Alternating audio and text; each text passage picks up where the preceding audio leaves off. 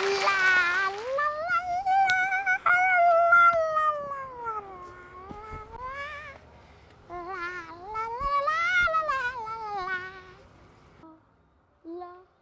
Cô làm gì cô nhìn con chứ Cô lạ quá à. Làm gì ngồi đây hát la la la la vậy Về uống thuốc đi Sao ngồi đây Không về phụ má con bán đi Ủa má con bán cái gì con phụ Thấy chưa con lạ lắm rồi. Nghĩ sao con hỏi cô câu đó? Má con bán đồ sida mà Nhớ chưa? Nhớ rồi Mà tại vì á, má con bán á, bán cũng như không bán vậy đó. Cho nên con ra đây con chơi luôn. Bán như không bán hả? Ủa là sao con? Để con nói cái này con mới hiểu Con phải bình tâm con mới hiểu nha. À. Ngày hôm trước bắt được một cái quần. À. Ngày hôm qua không bán được cái nào. Ừ. Còn ngày hôm nay còn tệ hơn ngày hôm qua nữa. Thấy chưa? Con lạ lắm Trời ơi. Trong con nói của con nó có ẩn trước cái điều nó lạ lùng lắm con. Ngày hôm trước bán được cái quần. Ngày hôm qua không bán được cái nào. Ngày hôm nay còn tệ hơn hai ngày trước. Đúng rồi. Không lạ là cái gì? À tại cô không hiểu. Tại vì á ngày hôm trước bắt được một cái quần. Ờ. Ngày hôm qua không bán được cái nào. Ờ Còn ngày hôm nay còn tệ hơn ngày hôm qua nữa Con lạ nữa. Bởi Này con sao á? Con rất là lạ nha. Con nói xạo à. Ngày hôm trước bán được cái quần phải không? Đúng rồi. Ngày hôm qua Không bán được cái nào Đúng. Ngày hôm nay Đúng. tệ hơn hai ngày hôm trước. Không lạ là gì? Trời ơi vậy là cô không biết rồi. Cái ông mà mua cái quần ngày hôm trước tới trả không phải là còn hơn ngày hôm qua chứ là sao nữa con gái của ba. Cuối cùng con đã lớn rồi thấy không? Dạ. Ờ, cũng ờ, tính chuyện ờ, lập gia đình chứ Ờ, ba chỉ ao ước một điều á là con làm sao kiếm được một người chồng nào đó mà xứng với con ha. Rồi tổ chức ờ, đám cưới thật là linh đình. Ba nhìn thấy hai con hạnh phúc ba chết ba nhắm mắt mới xuôi được. Mai con lấy chồng. Hả? Con muốn bao chết sớm vậy hả? Đâu có. Ba lo lắng chi xa mệt quá. À. Nhưng mà con nói thiệt nha Tuần sau con lấy chồng á. Tuần sau? Sao Ừ. lẹ quá vậy? Hả? Ba không nghe ta nói hả? Sao? Lấy chồng phải lấy liền tay chứ để lâu ngày. Nó ế chồng mới chê sao mà ế được? Nhưng mà nè con yêu. À, ờ, cái thằng mà sắp sửa làm chồng con đó coi như hiện nay nó là người yêu của con á. Ừ, nhà cửa nó là sao con? Ở trọ. Ở trọ? Dạ. Nó có xe hơi không Có. Đó vậy là ba thích đó. Xe hơi là đàng hoàng lắm không? Dạ đúng rồi mà là tài xế. À. tài xế xe hơi? Ừ. Vậy nó có xe honda không? Không. Chứ đi xe gì? Xe đạp. Hả? ở trọ đi xe đạp. Ừ. vậy ba má nó làm nghề gì? Bán muối. Ừ bán muối cũng được. Bán muối giót hả? Có nghĩa là chết đó hả? Một coi mà. Một cô cha mẹ. Đúng rồi. Không nhà không xe. Thôi con không con đừng nên lấy thằng này con. Anh nghèo nhưng mà anh giàu tình cảm bà ơi. Thôi con con phải nhớ điều nè ở đời con phải sống tích đức tích phúc nè phải không? Người ta đã khổ tận cùng rồi phải không? Con hãy tha cho người ta đi lấy người ta khổ thêm tội nghiệp. Ủa làm sao? Có nghĩa là đừng lấy nó tội nghiệp cho nó con à. Đại ca hôm nay đứng canh rồi hả Trời ơi bữa nay mặc đồ sang trọng quá ta Trời ơi Cái cây giáo này đâm bụng chết không Chết à Vậy thôi nha Ở đây chơi đi. Trời ơi Trời ơi đại ca đại ca Đại ca đứng đây sáng vợ hả? Ở đâu Ồ vậy mà ông đổ mồ hôi hay hả? Tao không biết ai mệt không chứ tao, tao muốn mệt quá nè. Gì vậy tía? Tía đi mới có một chút à Ồ tía. Gì? Tía tía tía mua kẹo ăn ơi. Mua kẹo ăn thì sống răng. Vậy con ăn bánh sao ăn cơm? Vậy con ăn chè. Ăn chè tốn tiền. Ăn xôi. Xôi cũng vậy. Bò bía gì cũng thế. Ăn gì con cho. ăn hoài ăn hoài. Coi tướng à mấy tuổi mà bị bị lớn vậy đó con sẽ bị béo phì béo phì con sẽ không có sức mạnh như mấy cái chú này biết không? Trời ơi vậy tía không biết rồi. Con hả? Con khỏe lắm á. Tướng con vậy mà con mạnh nhất lớp luôn á. Con khỏe nhất lớp. Đúng rồi thầy giáo chủ nhiệm công nhận luôn á. Đó tất cả mọi thứ chỉ có cái này là con giống tía hồi nhỏ thôi. Đúng rồi. Hồi nhỏ tía cũng được khen là khỏe nhất lớp. Đúng rồi. Người ta nói hổ phụ sinh hổ tử. Chó dữ sanh chó lai. Mà khỏe thế nào con nói cho tía nghe coi. Trời ơi thầy giáo nói vậy nè ha. Sao sao? Em rất là giỏi. Em hả em khỏe mà tới nước em kéo nguyên cả lớp tuột cái đằng sau luôn á. À, trời ơi nó nó khỏe thằng quái thằng quái ông ơi tôi vẫn biết là ông rất khổ đau đứng trước hoàn cảnh trái ngang. Phải đành chấp nhận ôm bao đau thương mà thời gian qua lòng ông thương nhớ. Điệp đến bao giờ quên kỷ niệm xưa nhớ chăng hôm nào mình bên nhau. Tay trong tay anh vẫn yêu em dù trong tuyệt vọng từ phút từ lý chia lìa đối ngã. Hết rồi đó. Hay quá hay quá. Hay không anh cảm ơn. Anh là khán giả biết thưởng thức. Không anh không phải là khán giả. Từ mỹ về. Ồ. anh là đạo diễn ở hollywood. Ồ, hay quá vậy cảm ơn anh. Anh nói thiệt với em nha anh hồi sáng giờ đi vòng vòng ở đây để tìm một nhân vật nhưng mà chưa thấy. Bây giờ anh vô tình anh nghe em hát anh phát hiện ra em có tài năng. Hay quá. Anh mời em đóng phim. Cảm ơn anh nếu anh mời em sẽ cố gắng hết sức. Vai này rất là hay. Hay không anh? Cách xê nó là 10 ngàn đô la. Trời ơi vậy hả? Ừ. Bây giờ anh cho em biết nhân vật đó là thế nào. Nhưng mà anh sợ em đảm nhiệm không nổi. Em sẽ làm hết sức cho anh coi. Vai này dài hơi lắm á. Dài hơi. Ừ. Mà nhân vật thế nào? Nhân vật như thế này đơn giản thôi. Sao? Em nhảy xuống biển. Xuống biển. Em lặn đúng hai phút cho anh. Làm sao? Dài hơi. Sao? Mà ông hiểu sao á? Tim mình đập mạnh lắm. Mình hồi hộp lắm. Tim bạn đập mạnh. Ừ. Bạn hồi hộp. Tim bạn rờ con thôi khỏi rờ đi trời ơi thôi chết rồi. Bạn đừng có nói với mình là bạn yêu thầm nhớ trộm mình nha. Mình còn nhỏ lắm má mình la mình chết đó. Không dám đâu. Không phải là mình thương thầm nhớ trộm bạn đâu mà tim mình đập mạnh mình hồi hộp là không biết là ngày mai á mình coi bài thi mình đậu hay rớt. Quỷ sứ à bạn á bạn làm mình hết hồn mình hiểu lầm là bạn thương mình chứ.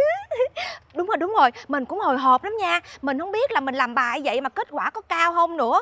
Ờ, à, bạn ngồi xuống đây đi mình có chuyện muốn hỏi bạn nè. Bạn tôi với bạn thân lắm rồi đó bạn đừng có giấu giếm gì hết nha. Bây giờ bạn nói cho mình biết đi ra trường á cái à, bạn làm nghề gì? Mình á hả? Ừ á mình chỉ thích một nghề duy nhất thôi. Nghề gì vậy? Đó là thầy giáo làm nghề sư phạm. Quá hợp luôn. Hợp không? Quá tốt hợp với bạn lắm. Tưởng tượng nha khi mà bạn đứng trên cái bục cao cao cái mấy đứa học trò nó ngồi dưới thấp thấp nó lắng nghe bạn giảng bài trời ơi nó hợp gì đâu mà hợp gì đó. Mình thích lắm á chỉ có bạn là hiểu mình thôi. Bạn tin mình đi mình á là mặt phật mà tâm phật luôn á. Ấy bạn Hả? ơi hả mình hỏi bạn câu nha. Hỏi gì hỏi đi. Nếu sau này bạn ra trường á ừ. bạn thích làm nghề gì?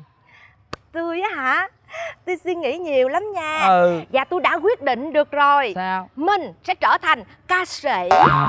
Gì vậy? Bạn ngồi lên bạn tự nhiên à bạn Bạn- làm gì quá vậy? Bạn không tin tôi phải không? Bạn, bạn mới nói bạn làm ca sĩ. Ca sĩ? Dáng bạn làm người mẫu mới đẹp. Thôi mình không thích làm người mẫu mình thích làm ca sĩ. Bởi vì sao? Bởi vì mình có cái tố chất mình có cái giọng hát của mình nó hay lắm nó đặc biệt lắm. Bạn hát cho mình nghe đi. Chờ chút xíu nha.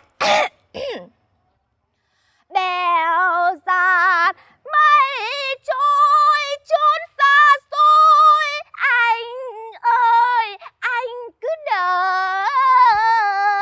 Em về em về về với bạn bạn bạn ơi mình nói bạn nghe nè. Sao vậy? Bạn thích ăn da gà không? Mình lột cho miếng. Ý bạn nói là mình ngân nga như vậy á là bạn nổi da gà hả? Wow, như vậy là mình thành công rồi. Đừng bạn đừng có chết đứng như vậy. Mình hát hay đúng không hát hay đúng không? Bạn im lặng là bạn đã đồng ý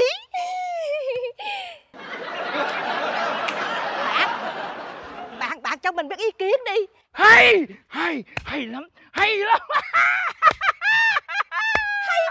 Hay quá. Bạn ơi. Công nhận nha bạn hát hay lắm. Tuyệt vời trên cả tuyệt vời. Ai cũng nói với mình như vậy á mình nói thiệt với bạn nha giọng ca của bạn mà thi việt nam idol hay là usa idol là bảo đảm là đậu. Mình về mình thi liền luôn. Chỉ có thiếu một món này là kiếm ra tiền thôi. Thiếu gì vậy? Cái lon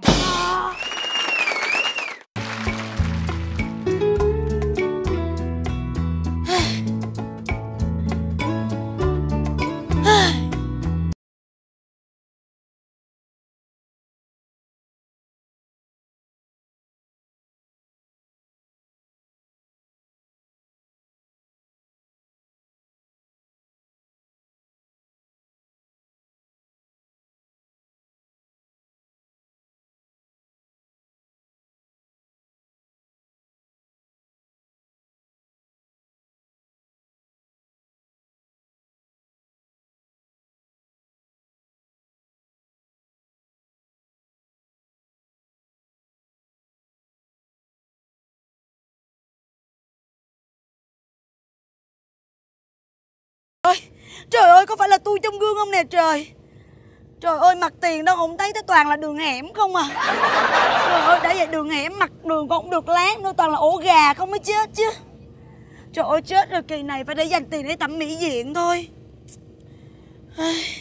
Da thì khô sần, mặt thì nám. Anh ơi Anh ơi có phải là em xấu lắm không anh? Ôi Ôi trời ơi tôi ngày nay với lại 20 năm về trước nó khác xa nhau quá. Khác xa nhau một cách dữ dội luôn. Kỳ này phải để dành tiền đi tặng mỹ gì mình tút lại thôi. Hả? Nhưng mà không. Có lẽ là mình vẫn còn đẹp Nhưng mà tại vì mắt mình yếu nên mình không thấy đường thôi. Anh ơi Anh hãy cho em một lời khuyên thật chính xác anh. Anh hãy cho em một lời khuyên để em còn lại cái sức sống trên cuộc đời này đi anh. Anh hãy khen em, anh khen em dù một lời thôi anh tôi khen bà nha. Dạ khen đi anh. Bà nên đập cái kiến này bỏ đi. Sao vậy anh? kiến giả. Về nhà lấy cái kiến bự á, soi cho kỹ vô. Dạ. Mắt bà còn chính xác lắm.